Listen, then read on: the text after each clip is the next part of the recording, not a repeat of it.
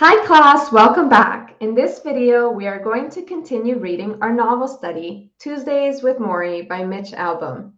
We will be starting off on chapter 6. So if everyone could please turn to page 32, let's get started. Chapter 6, The Classroom. The sun beamed in through the dining room window, lighting up the hardwood floor. We had been talking there for nearly two hours. The phone rang yet again, and Morrie asked his helper Connie to get it. She had been jotting down she had been jotting the callers' names in Morrie's small black appointment book. Friends, meditation teachers, a discussion group, someone who wanted to photograph him for a magazine. It was clear I was not the only one interested in visiting my old professor. The Nightline appearance had made him something of a celebrity, but I was impressed with, perhaps even a bit envious of, all the friends that Morrie seemed to have. I thought about the buddies that circled my orbit back in college. Where had they gone? You know, Mitch, now that I'm dying, I've become much more interesting to people. You were always interesting. Huh, Morrie smiled. You're kind. No, I'm not, I thought. Here's the thing, he said. People see me as a bridge. I'm not as alive as I used to be, but I'm not yet dead. I'm sort of mm, in between. He coughed, then regained his smile. I'm on the last great journey here, and people want me to tell them what to pack. The phone rang again. Morrie, can you talk? Connie asked. I'm visiting with my old pal now, he announced. Let them call back. I cannot tell you why he received me so warmly. I was hardly the promising student who had left him 16 years earlier. Had it not been for Nightline, Morrie might have died without ever seeing me again. I had no good excuse for this except the one that everyone these days seems to have. I had become too wrapped up in the siren song of my own life. I was busy. What happened to me? I asked myself. Morrie's high, smoky voice took me back to my university years when I thought rich people were evil, a shirt and tie were prison clothes, and life without freedom to get up and go, motorcycle beneath you, breeze in your face, down the streets of Paris, into the mountains of Tibet, was not a good life at all. What happened to me? The 80s happened, the 90s happened, death and sickness, and getting fat and going bald happened. I traded lots of dreams for a bigger paycheck, and I never even realized I was doing it. Yet here was Morrie talking with the wonder of her college years, as if I'd simply been on a long vacation. Have you found someone to share your heart with? Morrie asked. Are you giving to your community? Are you at peace with yourself? Are you trying to be as human as you can be? I squirmed, wanting to show I had been grappling deeply with such questions. What happened to me? I once promised myself I would never work for money, that I would join the Peace Corps, that I would live in beautiful, inspirational places. Instead, I had been in Detroit for 10 years now at the same workplace, using the same bank, visiting the same barber. I was 37, more efficient than in college, tied to computers and modems and cell phones. I wrote articles about rich, rich athletes who, for the most part, could not care less about people like me. I was no longer young for my peer group, nor did I walk around in gray sweatshirts with unlit cigarettes in my mouth. I did not have long discussions over egg salad sandwiches about the meaning of life. My days were full, yet I remained much of the time unsatisfied. What happened to me? Coach, I said suddenly, remembering the nickname. Morrie beamed. That's me. I'm still your coach. He laughed and resumed his eating, a meal he had started 40 minutes earlier. I watched him now, his hands working gingerly as if he were learning to use them for the very first time. He could not press down hard with a knife. His fingers shook. Each bite was a struggle. He chewed the food finely before swallowing, and sometimes it slid out of the sides of his lips so that he had to put down what he was holding to dab his face with a napkin. The skin from his wrist to his knuckles was dotted with age spots, and it was loose, like skin hanging from a chicken soup bone. For a while, we just ate like that a sick old man, a healthy, younger man, both absorbing the quiet of the room. I would say it was an embarrassed silence, but I seemed to be the only one embarrassed.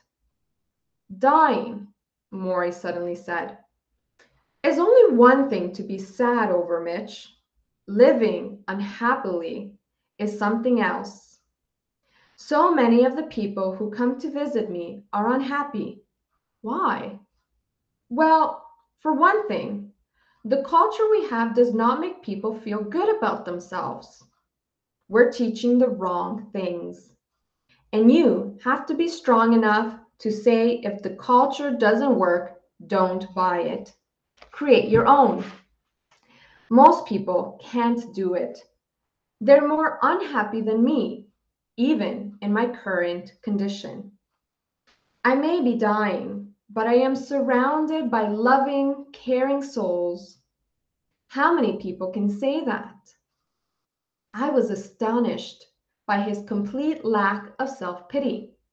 Morrie, who could no longer dance, swim, bathe, or walk, Morrie, who could no longer answer his own door, dry himself after a shower, or even roll over in bed.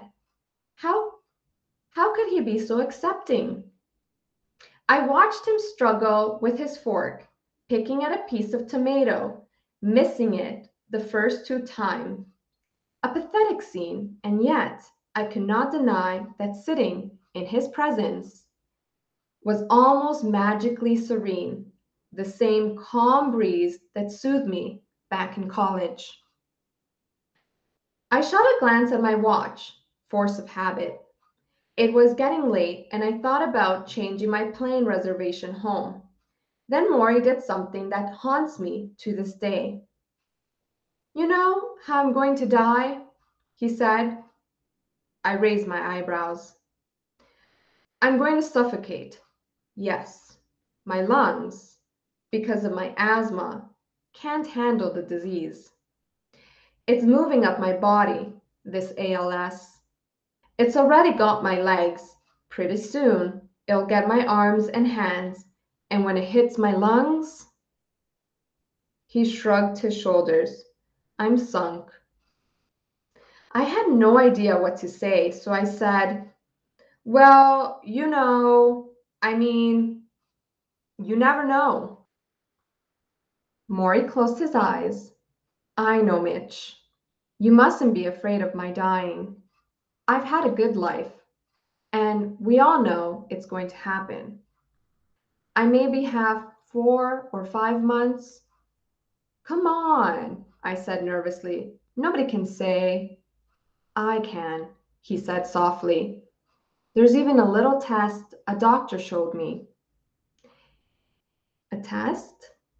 Inhale a few times. I did, as he said. Now, once more, but this time, when you exhale, count as many numbers as you can before you take another breath. I quickly exhaled the numbers one, two, three, four, five, six, seven, eight. I reached 70 before my breath was gone. Good, Morrie said. You have healthy lungs. Now watch what I do. He inhaled, then began his number count in a soft, wobbly voice. One, two, three, four,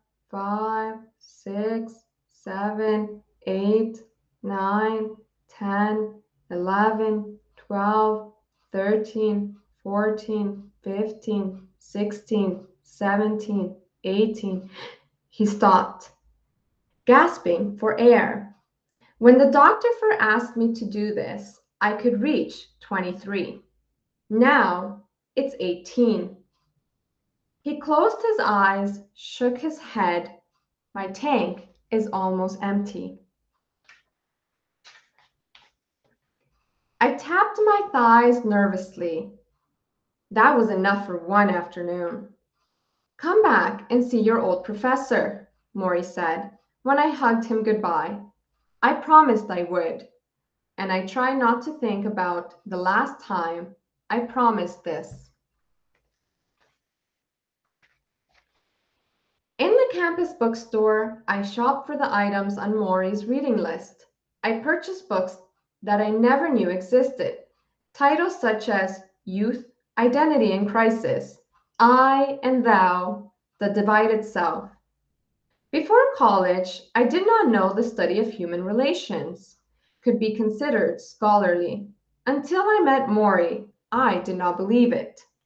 But his passion for books is real and contagious. We began to talk seriously sometimes after class when the room was emptied.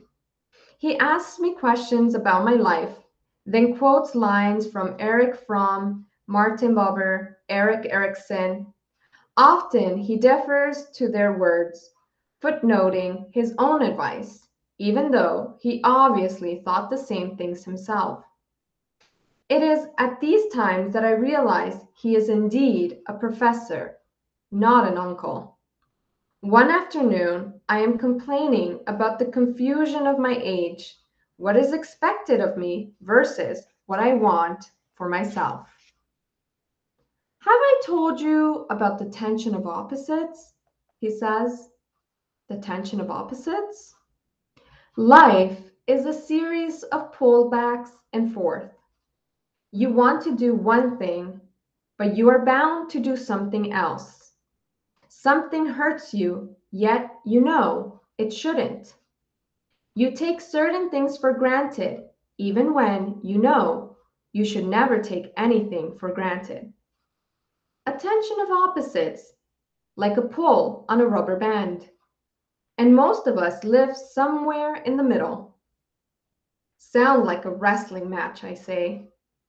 A wrestling match, he laughs. Yes, you could describe life that way. So which side wins, I ask. Which side wins? He smiles at me, the crinkled eyes, the crooked teeth. Love wins. Love always wins.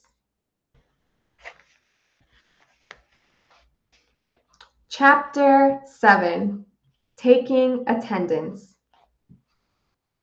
I flew to London a few weeks later. I was covering Wimbledon, the world's premier tennis competition, and one of the few events I go to where the crowd never boos and no one is drunk in the parking lot. England was warm and cloudy, and each morning I walked the tree lined streets near the tennis courts, passing teenagers queued up for leftover tickets and vendors selling strawberries and cream. Outside the gate was a newsstand that sold a half dozen colorful British tabloids featuring photos of topless women, paparazzi pictures of the royal family, horoscopes, sports, lottery contests, and a wee bit of actual news. Their top headline of the day was written on a small chalkboard that leaned against the latest stack of news stack of papers and usually read something like Diana in a row with Charles or Gazza to team, give me millions. People scooped up these tabloids, devoured their gossip, and on previous trips to England, I had always done the same. But now, for some reason, I found myself thinking about Morrie whenever I read something silly or mindless. I kept picturing him there in the house with the Japanese maple and the hardwood floors, counting his breath, squeezing out every moment with his loved ones, while I spent so many hours on things that meant absolutely nothing to me personally. Movie stars, supermodels, the latest noise out of Princess D or Madonna or John F. Kennedy Jr. In a strange way, I envied the quality of Morrie's time, even as I lamented its diminishing supply. Why did we bother with all the distractions we did? Back home, the O.J. Simpson trial was in full swing. And there were people who surrounded and there were people who surrendered their entire lunch hours watching it, then taped the rest so they could watch more at night. They did not know O.J. Simpson. They did not know anyone involved in the case. Yet, they gave up days and weeks of their lives, addicted to someone else's drama. I remember what Morrie said during our visit the culture we have does not make people feel good about themselves.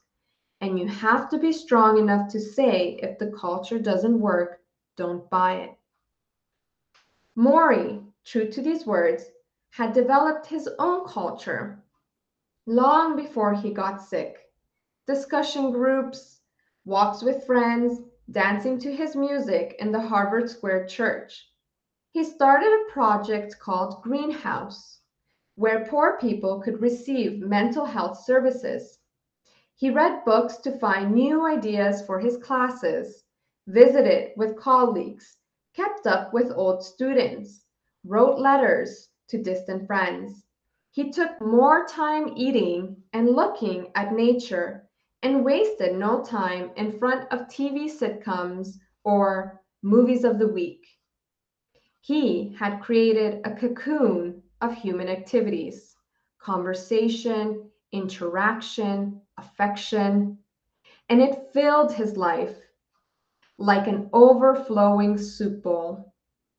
I had also developed my own culture, work. I did four or five media jobs in England, juggling them like a clown. I spent eight hours a day on a computer, feeding my stories back to the States. Then I did TV pieces, traveling with a crew throughout parts of London. I also phoned in radio reports every morning and afternoon. This was not an abnormal load. Over the years, I had taken labor as my companion and had moved everything else to the side. In Wimbledon, I ate meals at my little wooden work cubicle and thought nothing of it. On one particularly crazy day, a crush of reporters had tried to chase down Andre Agassi and his famous girlfriend, Brooke Shields, and I had gotten knocked over by a British photographer who had barely muttered sorry before sweeping past, his huge metal lenses strapped around his neck. I thought of something else Morrie had told me.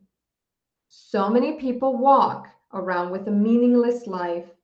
They seem half asleep, even when they're busy doing things they think are important. This is because they're chasing the wrong things. The way you get meaning into your life is to devote yourself to loving others. Devote yourself to your community around you and devote yourself to creating something that gives you purpose and meaning. I knew he was right. Not that I did anything about it. At the end of the tournament and the countless cups of coffee I drank to get through it, I closed my computer, cleaned out my cubicle, and went back to the apartment to pack. It was late. The TV was nothing but fuzz I flew to Detroit, arrived late in the afternoon, dragged myself home, and went to sleep. I awoke to a jolting piece of news. The unions at my newspaper had gone on strike. The place was shut down. There were picketers at the front entrance and marchers chanting up and down the street. As a member of the union, I had no choice. I was suddenly, and for the first time in my life, out of a job, out of a paycheck, and pitted against my employers. Union leaders called my home and warned me against any contact with my former editors, many of whom were my friends, telling me to hang up if they tried to call and plead their case. We're going to fight until we win, the union leaders swore, sounding like soldiers. I felt confused and depressed. Although, although the TV and radio work were nice supplements, the newspaper had been my lifeline, my oxygen. When I saw my stories in print each morning, I knew that, in at least one way, I was alive. Now it was gone. And as the strike continued, the first day, the second day, the third day, there were worried phone calls and rumors that this could go on for months. Everything I had known was upside down. There were sporting events each night that I would have gone to cover. Instead, I stayed home, watched them on TV. I had grown used to thinking readers somehow needed my column. I was stunned at how easily things went on without me. After a week of this, I picked up the phone and dialed Morrie's number. Connie brought him to the phone. You're coming to visit me, he said, less a question than a statement. Well, could I? How about Tuesday? Tuesday would be good, I said. Tuesday would be fine. In my sophomore year, I take two more of his courses. We go beyond the classroom, meeting now and then just to talk. I have never done this before with an adult who is not a relative, yet I feel comfortable doing it with Morrie, and he seems comfortable making the time. Where shall we visit today? he asked cheerily when I enter his office. In the spring, we sit under a tree outside the sociology building, and in the winter, we sit by his desk, me in my gray sweatshirt and Adidas sneakers, Morrie in Rockport shoes and corduroy pants. Each time we talk, he listens to me ramble. Then he tries to pass on some sort of life lesson. He warns me that money is not the most important thing, contrary to the popular view on campus. He tells me I need to be fully human. He speaks of the alienation of youth and the need for connectedness with the society around me. Some of these things I understand, some I don't. It makes no difference. The discussions give me an excuse to talk to him, fatherly conversations I cannot have with my own father, who would like me to be a lawyer. Morrie hates lawyers. What do you want to do when you get out of college? he asks. I want to be a musician, I say, piano player. Wonderful, he says, but that's a hard life. Yeah, a lot of sharks. That's what I hear. Still, he says, if you really want it, then you'll make your dream happen. I want to hug him, to thank him for saying that, but I am not that open. I only nod instead. Chapter 8 The first Tuesday, we talk about the world. Connie opened the door and let me in Morrie was in his wheelchair by the kitchen table, wearing a loose cotton shirt and even looser black sweatpants. They were loose because his legs had atrophied beyond normal clothing size. You could get two hands around his thighs and have your fingers touch. Had he been able to stand, he'd have been no more than five feet tall. And he'd probably have fit into a sixth grader's jeans. I got you something, I announced, holding up a brown paper bag. I had stopped on my way from the airport at a nearby supermarket and purchased some turkey, potato salad, macaroni salad, and bagels. I knew there was plenty of food at the house, but I wanted to contribute something. I was so powerless to help Morrie otherwise, and I remembered his fondness for eating. Ah, so much food, he sang. Well, now you have to eat it with me. We sat at the kitchen table, surrounded by wicker chairs, this time without the need to make up 16 years of information. We slid quickly into the familiar waters of our old college dialogue. Morrie asking questions, listening to my replies, stopping like a chef to sprinkle in something I'd forgotten or hadn't realized. He asked about the newspaper strike. In true to form, he couldn't understand why both sides didn't simply communicate with each other and solve their problems. I told him not everyone was as smart as he was. Occasionally, he had to stop to use the bathroom, a process that took some time. Connie would wheel him to the toilet, then lift him from the chair and support him as he urinated into the beaker. Each time he came back, he looked tired. Do you remember when I told you, Ted Koppel, that pretty soon someone was going to have to wipe my ass? He said. I laughed. You don't forget a moment like that. Well, I think that day is coming. That that one bothers me. Why? Because it's the ultimate sign of dependency. Someone wiping your bottom. But I'm working on it. I'm trying to enjoy the process. Enjoy it? Yes. After all, I get to be a baby one more time. That's a unique way of looking at it. Well, I have to look at life uniquely now. Let's face it, I can't go shopping. I can't take care of the bank accounts. I can't take out the garbage. But I can sit here with my dwindling days and look at what I think is important in life. I have both the time and the reason to do that. So I said, in a reflectively cynical response, I guess the key to finding the meaning of life is to stop taking out the garbage. He laughed and I was relieved that he did. As Connie took the plates away, I noticed a stack of newspapers that had obviously been read before I got there. You bother keeping up with the news? I asked.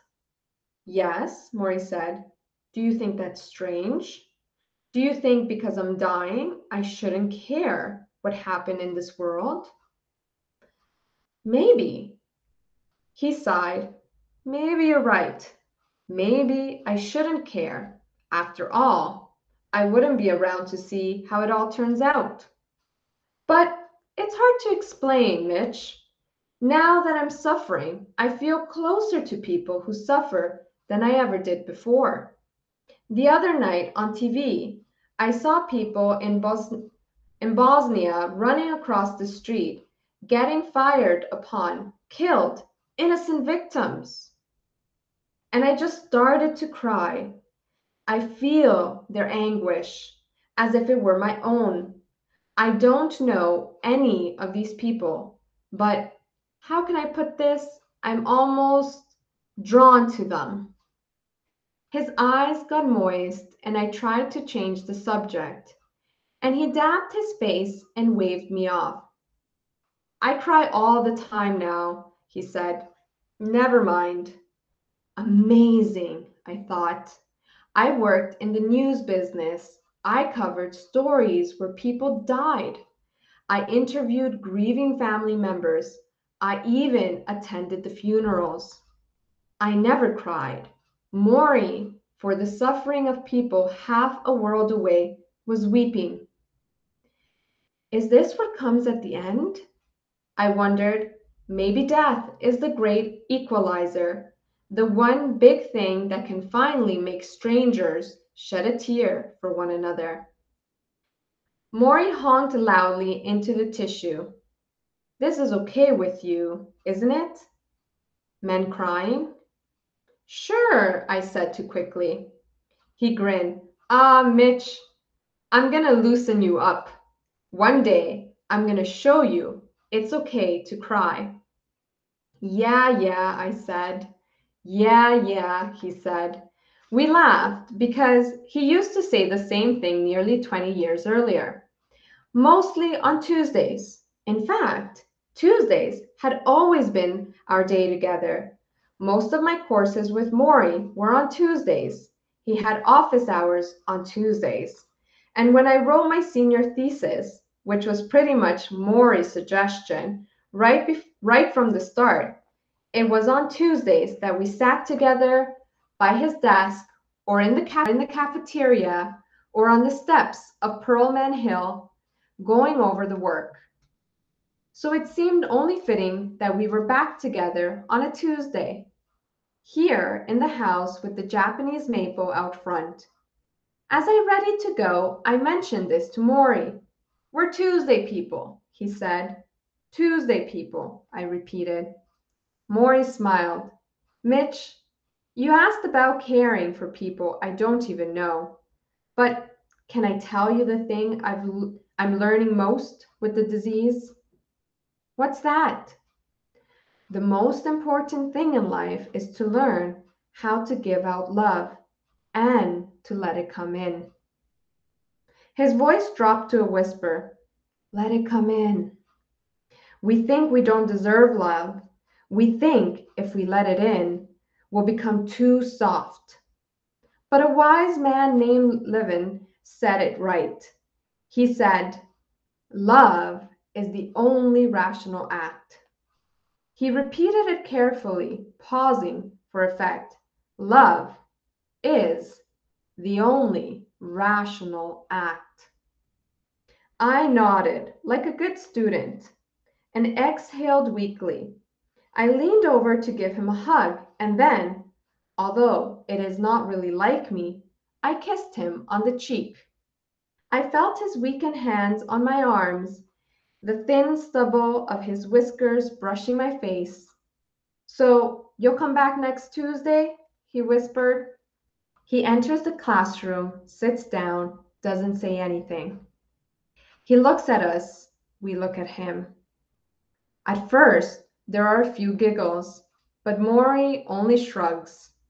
And eventually, a deep silence falls, and we begin to notice the smallest sounds the radiator humming in the corner of the room, the nasal breathing of one of the fat students. Some of us are agitated. When is he going to say something? We squirm, check our watches. A few students look out the window trying to be above it all. This goes on a good 15 minutes before Morrie finally breaks in with a whisper. What's happening here? he asks. And slowly a discussion begins. As Morrie has wanted all along about the effect of silence on human relations. Why are we embarrassed by silence? What comfort do we find in all the noise? I am not bothered by the silence. For all the noise I make with my friends, I am still not comfortable talking about my feelings in front of others, especially not classmates. I could sit in the quiet for hours if that is what the class demanded. On my way out, Morrie stops me you didn't say much today, he remarks. I don't know. I just didn't have anything to add. I think you have a lot to add. In fact, Mitch, You remind me of someone I knew who also liked to keep things to himself when he was younger. Who? Me. Chapter 9 The second Tuesday, we talk about feeling sorry for yourself. I come back the next Tuesday, and for many Tuesdays that followed. I looked forward to these visits more than one would think, considering I was flying 700 miles to sit alongside a dying man. But I seemed to slip into a time wrap when I visited Morrie. And I liked myself better when I was there. I no longer rented a cellular phone for the rides from the airport. Let them wait, I told myself, mimicking Morrie. The newspaper situation in Detroit had not improved. In fact, it had grown increasingly insane with nasty confrontations between picketers and replacement workers people arrested, beaten, lying in the street in front of delivery trucks. In light of this, my visits with Morrie felt like a cleansing rinse of human kindness. We talked about life and we talked about love. We talked about one of Morrie's favorite subjects, compassion, and why our society had such a shortage of it. Before my third visit, I stopped at a market called Bread and Circus. I had seen their bags in Morrie's house and figured he must like the food there. And I loaded up with plastic containers from their fresh food takeaway. Things like vermicelli with vegetables and carrot soup and baklava. When I entered Morrie's study, I lifted the bags as if I just robbed a bank. Food man, I bellowed. Morrie rolled his eyes and smiled. Meanwhile, I looked for signs of the disease's progression. His fingers worked well enough to write with a pencil or hold up his glasses, but he could not lift his arms much higher than his chest. He was spending less and less time in the kitchen or living room and more in his study, where he had a large reclining chair set up with pillows, blankets, and specially cut pieces of foam rubber that held his feet and gave support to his withered legs. He kept a bell near his side, and when his head needed adjusting or he had to go on the commode, as he referred to it, he would shake the bell, and Connie, Tony, Bertha, or Amy, his small army of home care workers, would come in. It wasn't always easy for him to lift the bell, and he got frustrated when he couldn't make it work. I asked Morrie if he felt sorry for himself. Sometimes, in the mornings, he said. That's when I mourn. I feel around my body. I move my fingers and my hands, whatever I can still move, and I mourn what I've lost. I mourn the slow, insidious way in which I'm dying. But then I stop mourning. Just like that. I give myself a good cry if I need it, but then I concentrate on all the good things still in my life, on the people who are coming to see me, on the stories I'm going to hear, on you, if it's Tuesday, because we're Tuesday people. I grinned Tuesday people. Mitch, I don't allow myself any more self pity than that. A little each morning, a few tears, and that's all. I thought about all the people I knew who spent many of their waking hours feeling sorry for themselves. How useful it would be to put a daily limit on self pity. Just a few tearful mo- minutes, then on with the day. And if Morrie could do it with such a horrible disease, it's only horrible if you see it that way, Morrie said. It's horrible to watch my body slowly wilt away to nothing. But it's also wonderful because all because of all the time I get to say goodbye. He smiled. Not everyone is so lucky. I studied him in his chair, unable to stand, to wash, to pull on his pants. Lucky? Did he really say lucky? During a break, when Morrie had to use the bathroom, I leafed through the Boston newspaper that sat near, the, near his chair.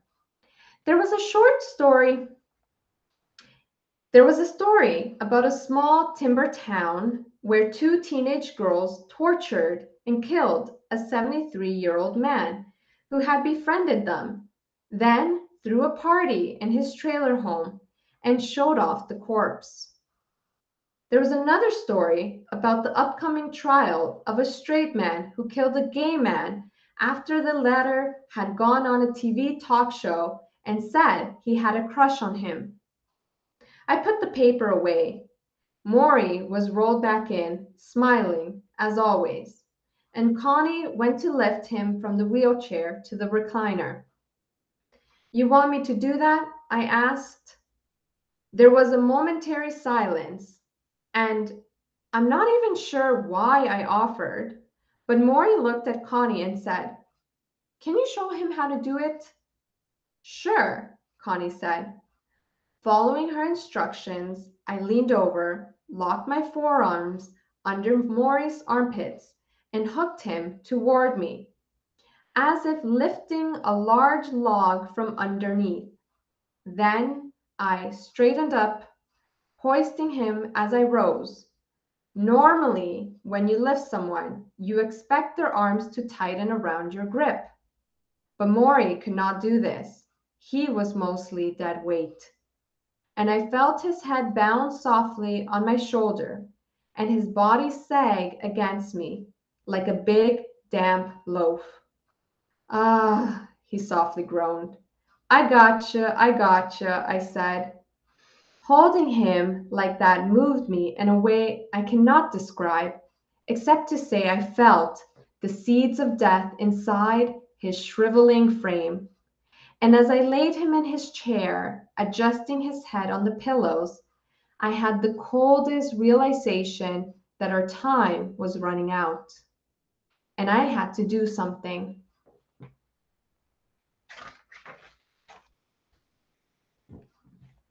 my junior year, 1978, when disco and Rocky movies are the cultural rage. We are in an unusual sociology class at Brandeis, something Morrie calls group process. Each week we study the ways in which the students in the group interact with one another, how they respond to anger, jealousy, attention. We are human lab rats more often than not, someone ends up crying. I refer to it as the touchy feely course. Morrie says I should be more open minded. On this day, Morrie says he has an exercise for us to try. We are to stand facing away from our classmates and fall backward, relying on another student to catch us. Most of us are uncomfortable with this, and we cannot let go for more than a few inches before stopping ourselves. We laugh in embarrassment. Finally, one student, a thin, quiet, dark haired girl whom I notice almost always wears bulky white fisherman sweaters, crosses her arms over her chest, closes her eyes, leans back, and does not flinch like one of those Lipton tea commercials where the model splashes into the pool. For a moment, I am sure she is going to thump on the floor. At the last instant, her assigned partner grabs her head and shoulders and yanks her up harshly. Whoa! Several students yell. Some clap. Morrie finally smiles. You see, he says to the girl, you closed your eyes. That was the difference. Sometimes you cannot believe what you see. You have to believe what you feel.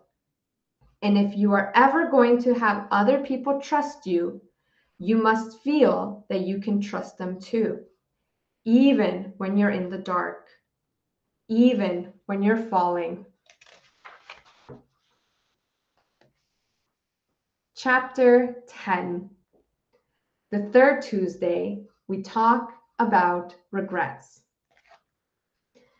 The next Tuesday, I arrived with the normal bags of food pasta with corn, potato salad, apple cobbler, and something else a Sony tape recorder. I want to remember what we talk about, I told Morrie. I want to have your voice so I can listen to it later. When I'm dead? Don't say that. He laughed. Mitch, I'm going to die, and sooner, not later. He regarded the new machine. So big, he said. I, I felt intrusive, as reporters often do. And I began to think that a tape machine between two people who were supposedly friends was a foreign object, an artificial ear. With all the people clamoring for his time, perhaps I was trying to take too much away from these Tuesdays. Listen, I said, picking up the recorder. We don't have to use this if it makes you uncomfortable. He stopped me, wagged a finger, then hooked his glasses off his nose, letting them dangle on the string around his neck. He looked me square in the eye. Put it down, he said. I put it down. Mitch, he continued, softly now. You don't understand. I want to tell you about my life. I want to tell you before I can't tell you anymore. His voice dropped to a whisper. I want someone to hear my story. Will you? I nodded. We sat quietly for a moment. So, he said, is it turned on? Now, the truth is, the tape recorder was more than nostalgia. I was losing Morrie. We were all losing Morrie. His family, his friends, his ex students, his fellow professors, his pals from the political discussion groups that he loved so much, his former dance partners, all of us. And I suppose tapes, like photographs and videos, are a desperate attempt to steal something from death's suitcase. But it was also becoming clear to me through his courage, his humor, his patience, and his openness that Morrie was looking at life from some very different place than anyone else I knew, a healthier place, a more sensible place, and he was about to die. If some mystical clarity of thought came when you looked death in the eye, then I knew Morrie wanted to share it, and I wanted to remember it for as long as I could. The first time I saw Morrie on Nightline, I wondered what regrets he had once he knew his death was imminent. Did he lament lost friends? Would he have done much differently? Selfishly, I wondered if I were in his shoes, would I be consumed with sad thoughts of all that I had missed? Would I regret the secrets I kept hidden when I mentioned this to Morrie, he nodded. It's what everyone worries about, isn't it? What if today were my last day on earth? He studied my face and perhaps he saw an ambivalence about my own choices. I had this vision of me keeling over at my desk one day, halfway through a story, my editors snatching the copy even as the medics carried my body away. Mitch, Morrie said. I shook my head and said nothing, but Morrie picked up on my hesitation. Mitch, he said, the culture doesn't encourage you to think about such things until you're about to die. We're so wrapped up with egotistical things career, family, having enough money, meeting the mortgage, getting a new car, fixing the radiator when it breaks. We're involved in trillions of little acts just to keep going. So we don't get into the habit of standing back and looking at our lives and saying, Is this all? Is this all I want? Is something missing? He paused. You need someone to probe you in that direction. It won't just happen automatically. I knew what he was saying. We all need teachers in our lives, and mine was sitting in front of me. Fine, I figured. If I was to be the student, then I would be as good a student as I could be. On the plane ride home that day, I made a small list on a yellow legal pad, issues and questions that we all grapple with, from happiness to aging to having children to death. Of course, there were a million self help books on these subjects and plenty of cable TV shows. And $90 per hour consultation sessions America had become a Persian bazaar of self of self-help. But there still seemed to be no clear answer. Do you take care of others or take care of your inner child? Return to traditional values or reject tradition as useless. Seek success or seek simplicity. Just say no or just do it. All I knew was this Morrie, my old professor, wasn't in the self help business. He was standing on the tracks listening to Dad's locomotive whistle, and he was very clear about the important things in life. I wanted that clarity. Every confused and tortured soul I knew wanted that clarity. Ask me anything, Morrie always said. So I wrote this list death, fear, aging, greed, marriage, family, society, forgiveness, a, meaning, a meaningful life. The list was in my bag when I returned to West Newton for the fourth time, a Tuesday in late August when the air conditioning at the Logan Airport International at the Logan Airport terminal was not working and people fanned themselves and wiped sweat angrily from their foreheads, and every face I saw looked ready to kill somebody. By the time, by the start of my senior year, I have taken so many sociology classes, I am only a few credits shy of a degree. Morrie suggests I try an honor thesis. Me? I ask. What would I write about? What interests you? He says. We bat it back and forth until we finally settle on, of all things, sports. I begin a year long project on how football in America has become ritualistic, almost a religion, an opiate for the masses. I have no idea that this is training for my future career. I only know it gives me another once a week session with Morrie. And with his help, by spring, I have a hundred and I have a 112 page thesis, researched, footnoted, documented, and neatly bound in black leather. I show it to Morrie with pride of a little leaguer rounding the bases on his first home run. Congratulations, Morrie says. I grin as he leafs through it and I glance around his office. The shelves of books, the hardwood floor, the throw rug, the couch. I think to myself that I have sat just about everywhere there is to sit in this room. I don't know, Mitch, Morrie muses, adjusting his glasses as he reads. With work like this, you may have to get you we may have to get you back here for grad school. Yeah, right, I say.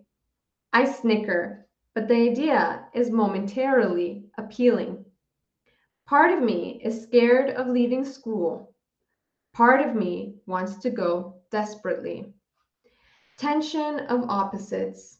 I watch Morrie as he reads my thesis and wonder what the big world will be like out there. Okay, class, we're going to stop here. and we will continue reading the rest of the novel together in the following video. Bye!